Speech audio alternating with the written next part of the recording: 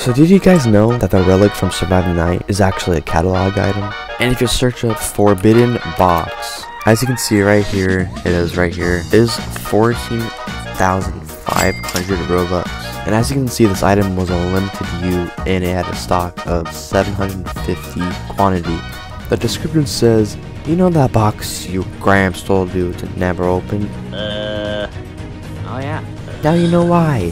The forbidden box will summon several violent beasts which will hunt down any player, friend or foe, who lays eyes on it or falls within its area or of effect.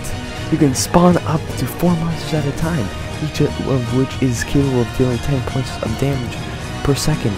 So as, as you can see, it looks exactly like the Revolution Survive the Night, and it was created 11 years ago. Wow, that's pretty insane. And this is not an accessory, it's actually a gear. And this is what it looks like in game. Um, it does absolutely nothing.